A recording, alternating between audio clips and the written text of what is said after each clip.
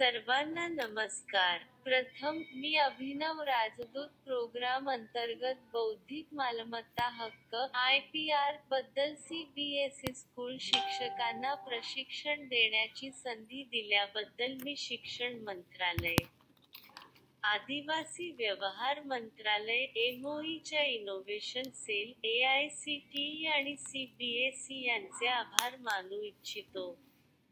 आपल्या सर्वांना ठाऊकच आहे की आमच्या शालेय शिक्षकांना प्रशिक्षण मिळावे यासाठी पायाभरणी करण्यासाठी सोळा जुलै दोन हजार एकवीस रोजी माननीय शिक्षण मंत्री श्री धर्मेंद्र प्रधानजी यांच्यासमवेत माननीय आदिवासी कार्यमंत्री श्री अर्जुन मुंडाजी यांनी हा कार्यक्रम सुरू केला. नाविन्य आणि संबंधित क्षेत्रे मी विरिस्पायरच्या वतीने मुळातून भारत आत्मनिर्भर बनवण्याच्या अशा दूरदृश्याचे खरोखर कौतुक करू इच्छितो आणि माननीय पंतप्रधान श्री नरेंद्र मोदीजी यांनी कल्पना केलेल्या ही पाच अब्ज डॉलर्सची अर्थव्यवस्था होण्याच्या उद्दिष्टापर्यंत मी पोहोचू इच्छित आहे.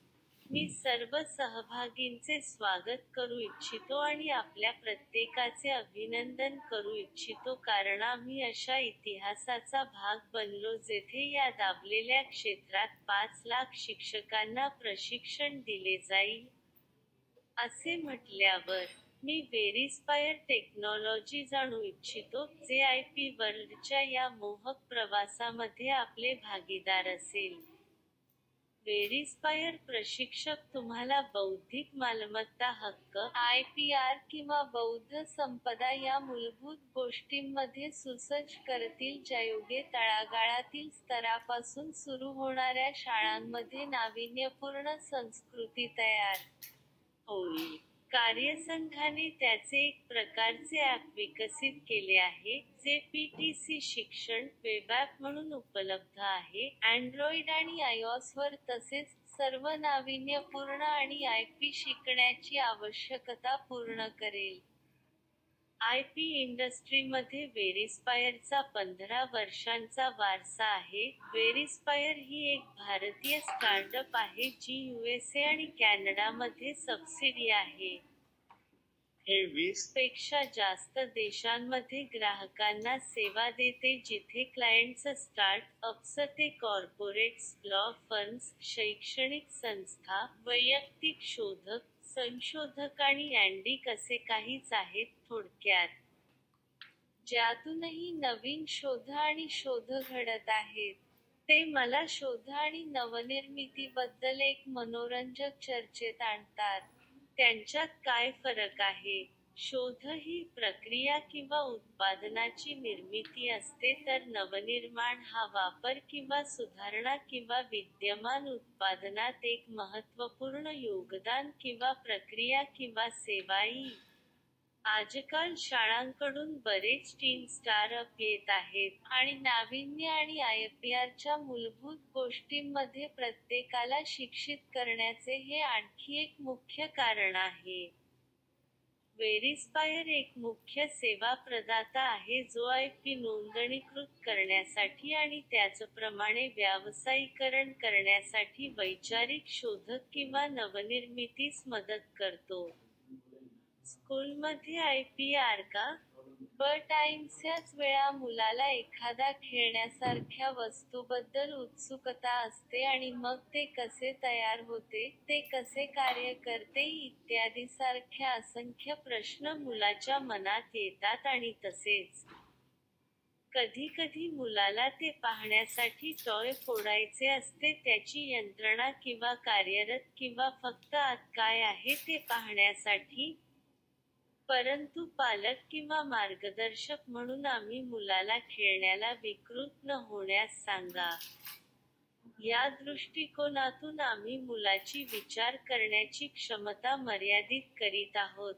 त्याऐवजी आम्ही त्यांना खेळण्याकडे डोकावण्यास मदत केली पाहिजे आणि त्याचे कार्य स्पष्ट करून सांगावे किंवा त्यांना नाविन्यपूर्णतेसाठी शोधू द्यावे. या दृष्टिकोनातून माझा विश्वास आहे की आम्ही लहान मुलांच्या सर्जनशीलतेचे पालनपोषण नवीन कल्पना म्हणून करतो आणि तरुण वयातच विचार नाविन्यपूर्ण क्षमता विकसित करतो.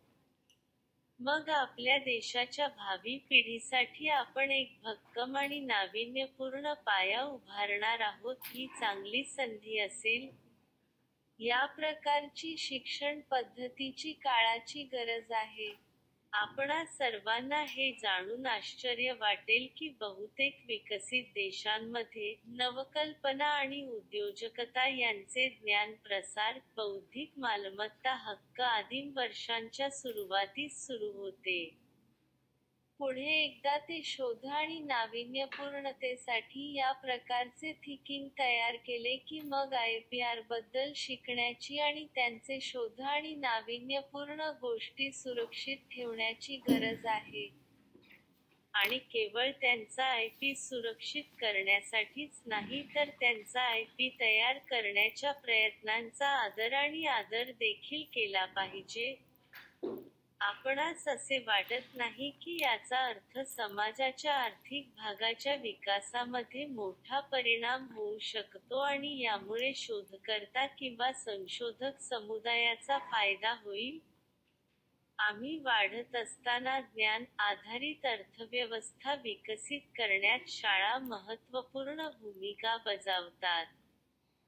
शाळा ज्ञानाचे ऊर्जास्थान आहेत आणि समाजाच्या समस्यांसाठी उपाय तयार करण्यासाठी किंवा व्युत्पन्न करण्यासाठी नाविन्यपूर्ण संस्कृती विकसित करण्यासाठी आणि तयार करण्यासाठी प्लेटफॉर्म म्हणून कार्य करतात. परंतु येथे आम्ही इनोव्हेशन आणि नाविन्यपूर्ण विचारसरणीबद्दल बोलत आहोत.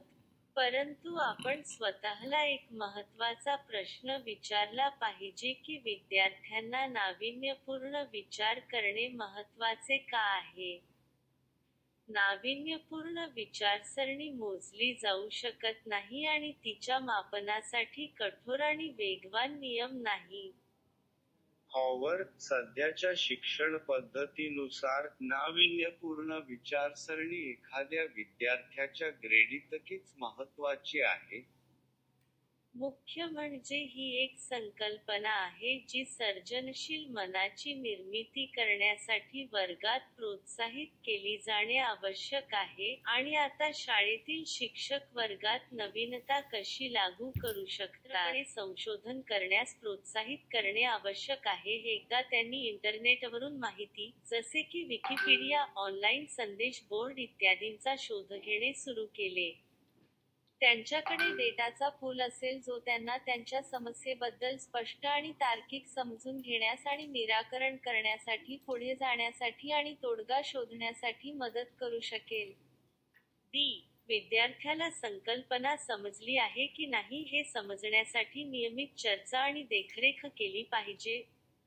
किंवा ते कोणत्याही प्रश्नांमधून संघर्ष करीत आहेत की नाही विद्यार्थ्यांना यावर तोडगा काढण्यास सक्षम आहेत की नाही? शिक्षकांनी विद्यार्थ्यांना काय माहीत आहे आणि त्यांचे प्रकल्प यशस्वीरित्या पूर्ण करण्यासाठी काय शिकले पाहिजे याचा काळजीपूर्वक ट्रॅक ठेवला पाहिजे? स्टुडंट्स विद्यार्थ्यांना दररोजच्या वस्तूंचा नाविन्यपूर्ण वापर असल्याचे सुनिश्चित करा. बऱ्याच लोकांना एखाद्या वस्तूसाठी एकच उपयोग दिसतो.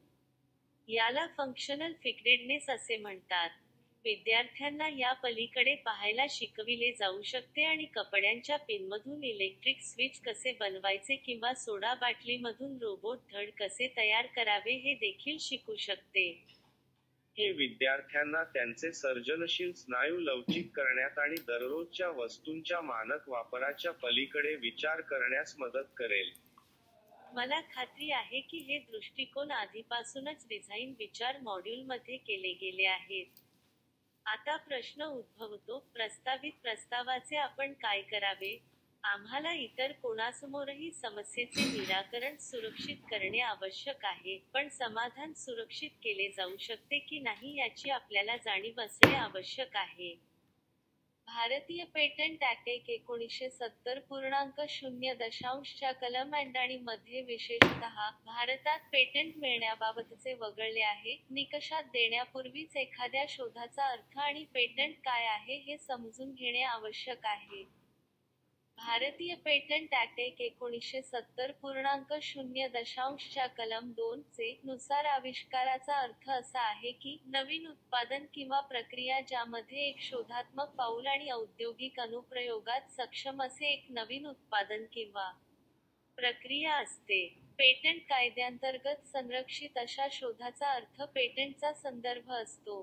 खालील निकषांनुसार भारतात काय पेटंट केले जाऊ शकते एक पेटंट करण्यायोग्य विषय होय नवीनता ही शोधात्मक पाऊल किंवा अस्पष्टता इंडस्ट्रीयल औद्योगिक वापरासाठी सक्षम या आविष्काराच्या तीव्रतेसाठी वैधानिक निकष आहेत. आय पीचे इतरही प्रकार आहेत ज्यात आपल्या सर्वांनाच कॉपीराइट ट्रेडमार्क व्यापार रहस्य भौगोलिक संकेत इत्यादींविषयी माहिती असणे आवश्यक आहे. आता हे बोर्डच्या तुलनेत थोडा वाटेल पण लवकरच तुम्हाला आगामी सत्रांमध्ये संपूर्ण अभ्यासक्रम घेण्यात येईल. शेवटी प्रत्येकास यशस्वीरित्या कोर्स यशस्वीरित्या पूर्ण करण्यासाठी आणि शैक्षणिक मंत्रालय प्रमाणित शाळा नाविन्यपूर्ण बनण्याची शुभेच्छा